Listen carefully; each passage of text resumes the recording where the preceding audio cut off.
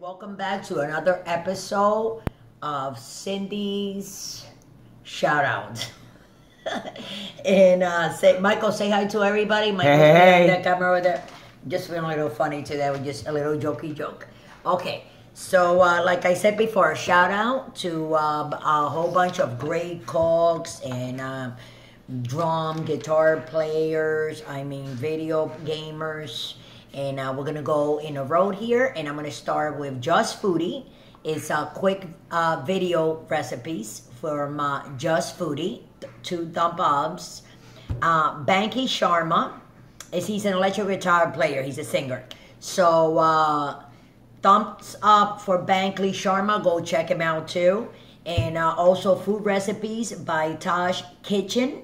Yep. It's India Cuisine video recipes also, so go check it out because they have like a lot of stuff, different stuff. Link in the And, description. uh, like you know what I'm saying? When you get like uh, you know what I'm saying? You can go and uh, learn how to make real Indian cuisine by real Indian people. So it's really really good. So anyway, also Ashkata's recipes. It's also India cuisine video recipe. Lazeez Pakwaans is also Indian cuisine video recipe. And again, I'm gonna repeat that one more time, a little bit more faster now.